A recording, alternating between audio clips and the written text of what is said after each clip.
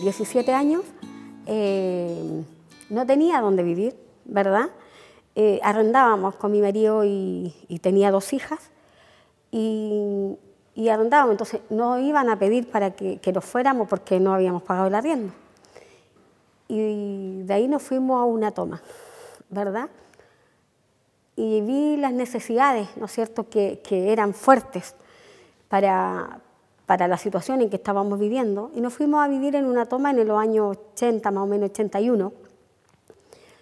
Y, de ahí nació el ser dirigente, pues, de, organizarnos para poder sacar eh, eh, adelante eh, nuestra casa, ¿cierto? ¿Por qué? Porque iba muchas veces a la municipalidad a pedir ayuda, qué sé yo, y en forma única no te dan soluciones, te dicen, no, venga después, venga mañana, venga pasado, en cambio, eh, entendí de que eh, a, tener una organización y a ser más personas, podíamos hacer más presión y nos podían tomar en cuenta.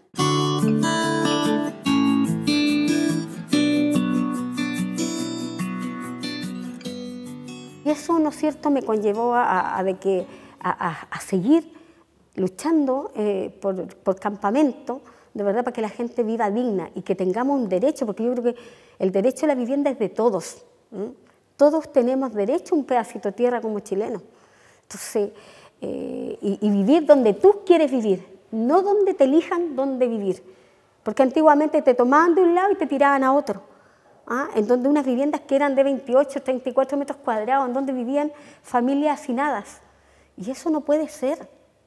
Entonces, yo lucho por eso por esa política, que la gente tiene que elegir dónde vivir, no dónde te coloquen dónde vivir.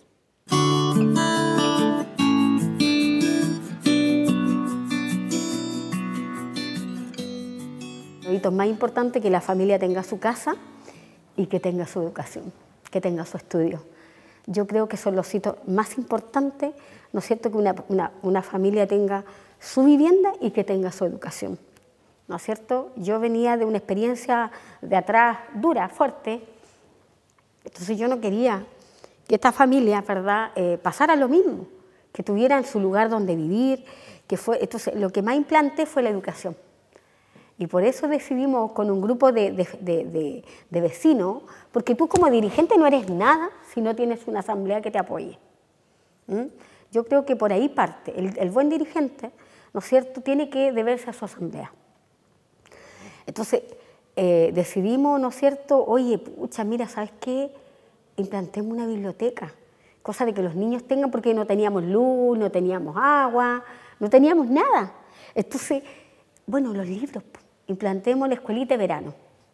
¿Cómo hacemos la escuelita de verano? Algunas mamás trabajaban y no tenían dónde ir a dejar a sus hijos. Entonces nosotros en la sede, ¿no es cierto?, pusimos un grupo de mamás cuidemos los, niños. Entonces, empecemos a cuidar los niños de los, de los vecinos. ¿ya? Así que implantamos la escuelita de, de, verano, eh, cosa que las mamás fueran a dejar a sus hijos a la sede y ellas pudieran ir a trabajar tranquilas. Y nosotros, ¿no es cierto?, un grupo de mamás, los dedicábamos a, él, a esos niños. Primero sin ningún fin de lucro, no cobrábamos nada, sino que era por ayudar a la comunidad. Y empezamos, ¿no es cierto?, a, juntar el libro y, cosas de cuentos para poder eh, entretener a los niños, porque tampoco no, teníamos experiencia solamente con los hijos nuestros. Entonces, ya, oye, mira, pasemos el libro de cuentos a los, a, los, a, a los niños, qué sé yo. Por ahí nos empezamos a conseguir un juguete y ya, ¿cómo le ponemos? Pongámosle biblioludoteca. Y así empezamos.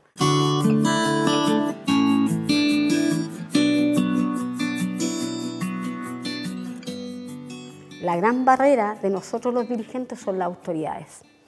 Muchas veces no nos escuchan o nos dan promesas falsas, ¿no es cierto? Y eh, no todos, ¿me entiendes? Pero sí muchas puertas se nos cierran, ¿verdad?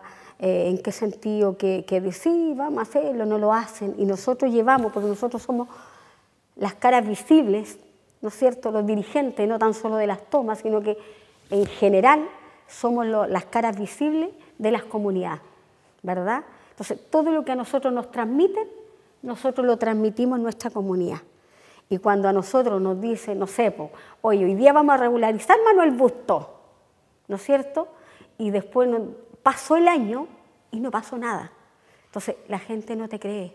Entonces por eso hoy día es tan difícil, ¿no es cierto?, eh, buscar nuevos dirigentes, porque se ha perdido la confianza. ¿Por qué? Porque las mismas autoridades han tenido la culpa que se pierdan las confianzas.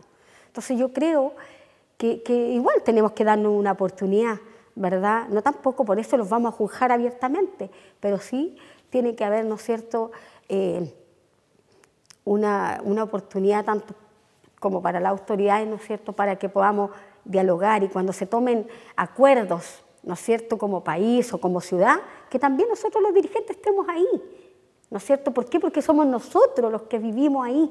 Nosotros somos los que vivimos día a día. Nosotros conocemos a la Juanita, conocemos a la Rosita, conocemos al Pedrito y los conocemos de fondo, los conocemos de abajo, desde la familia.